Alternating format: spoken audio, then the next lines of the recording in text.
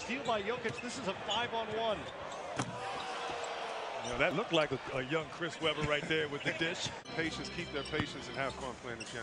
Jahlil Okafor hit the layup on one end. Saric, his teammate in Philadelphia, misses there, but there's Porzingis to throw it down.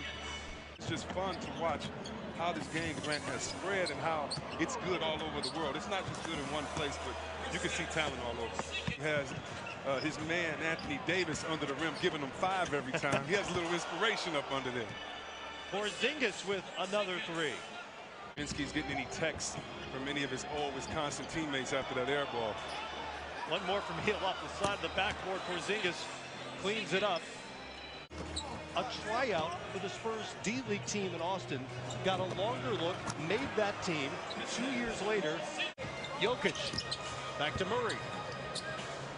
Just over a minute to go. Inside Porzingis puts the play away.